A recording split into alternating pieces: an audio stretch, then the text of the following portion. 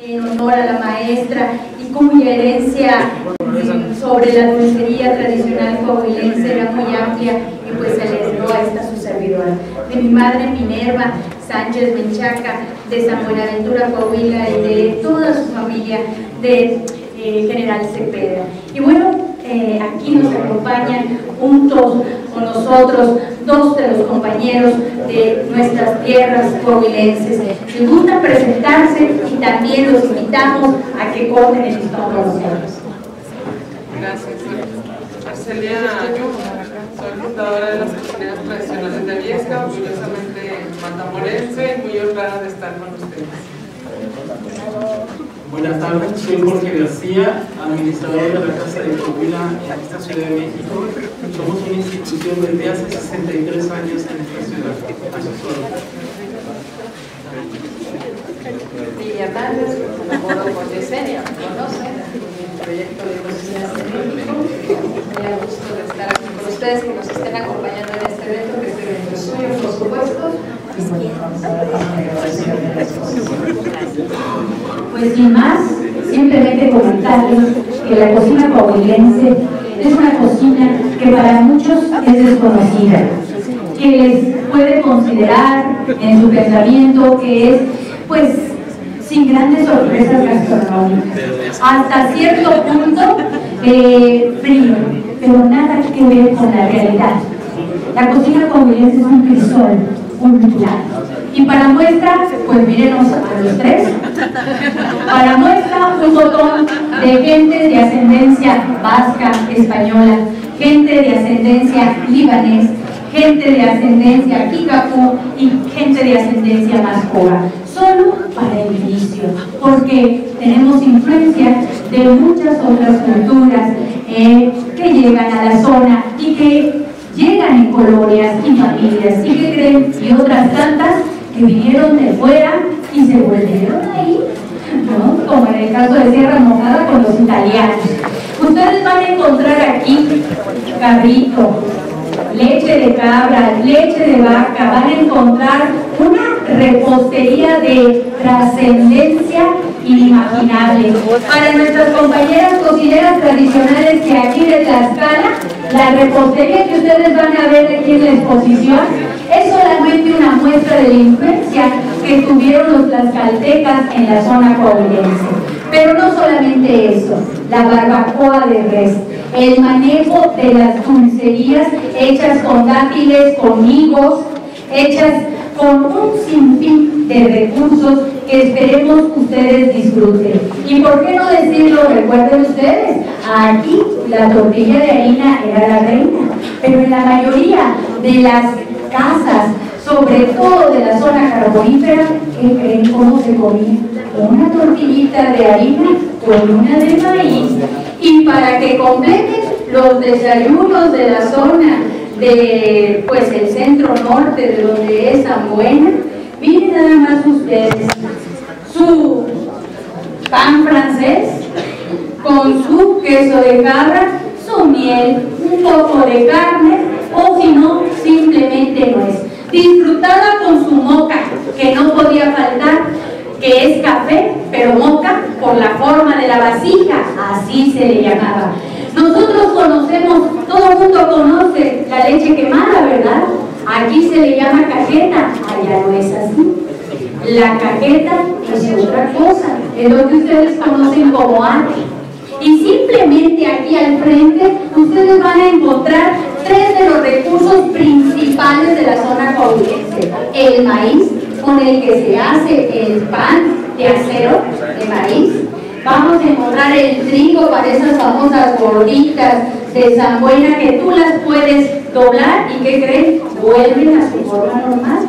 Y por supuesto el maguey, la cajeta de maguey que no es más que del corazón, sus gajitos que puedes disfrutar y el quiote que puedes asar. Solamente esas son unas delicias. Pero recuerden ustedes, los primeros viñedos de Latinoamérica se dieron en Coahuila y tenemos todavía desde el marquesado y posterior de Aguayo y posteriormente la Casa Madero de, un, de la familia de un expresidente, pues tenemos desde aquellas épocas un vino que dio Coahuila al mundo y hoy en día tiene más de 20 viñedos y casas de vino. Así que los invitamos a disfrutar y sin más preámbulo, por favor, cortemos. A ver, maestra Lili. Una, dos, tres. Disfruten de estos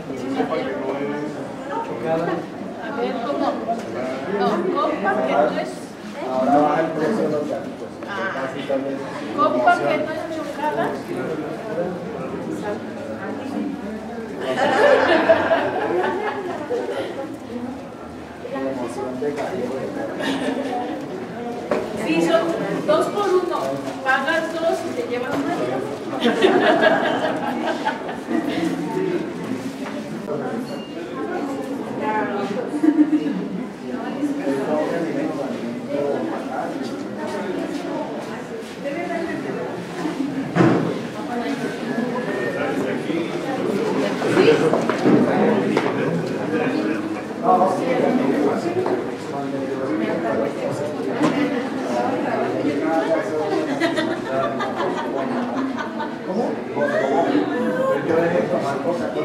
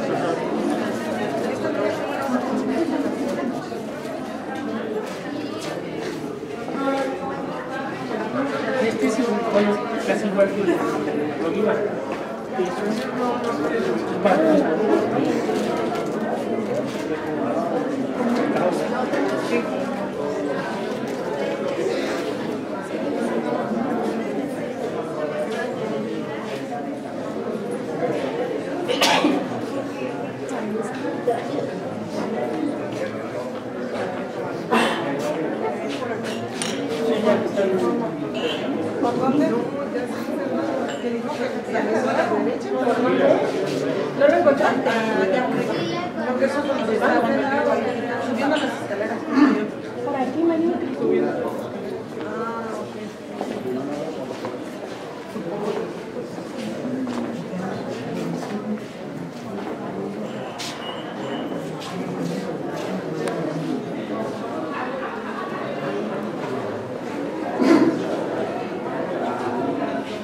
Luego hay otra cadena que es eh, la cadena que es como los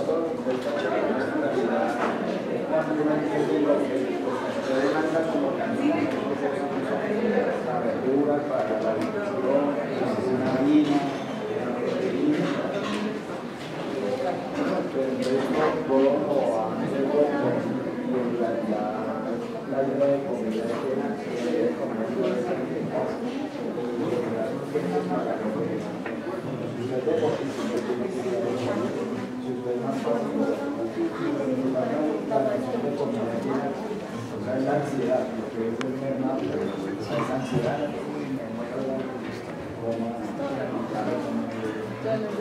¿Qué es lo que es? Porque no somos una cultura de consumo. Pues todo en función de eso, uno no necesita tres pares de zapatos. Yo necesito un zapato sport, un zapato serio y una pastelera. Pero usted la ya Grazie.